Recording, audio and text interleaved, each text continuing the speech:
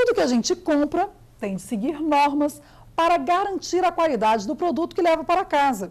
O Inmetro, Instituto Nacional de Meteorologia, foi criado para proteger o consumidor que, ao comprar um produto, tem que ter a certeza de que está levando exatamente o que está especificado na embalagem. E o Inmetro aproveita o Dia das Crianças, comemorado em 12 de outubro, para lançar um filme com o objetivo de ensinar os pequenos a importância das medidas do nosso dia a dia.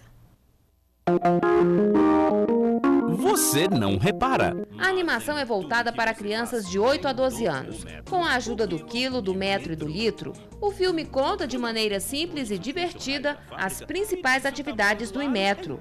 O recado é bem direto. Em tudo que se faz todos os dias, as medidas estão sempre presentes e são importantes para se produzir com qualidade. Se eu te perguntasse quanto mede a carteira da escola e o metro não existisse, talvez você fizesse isso. Eu aposto que você já mediu alguma coisa assim. Três palmos. E se quem me disse fosse maior? Aí poderiam ser só dois palmos, porque as mãos não têm o mesmo tamanho. Uma oportunidade para educar desde cedo o futuro consumidor.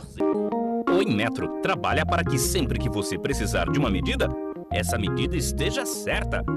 Ou seja, se na embalagem diz que aí dentro tem um quilograma de açúcar, tem que ter um quilograma mesmo. Tudo isso é para proteger você. Quem toma conta das medidas de tudo que você compra é o Inmetro. O filme está disponível na internet no endereço que aparece na sua tela. O Inmetro também vai lançar na próxima quarta-feira, Dia da Criança, a cartilha Segurança Infantil. Trata-se de um guia para alertar os pais sobre a prevenção de acidentes dentro de casa.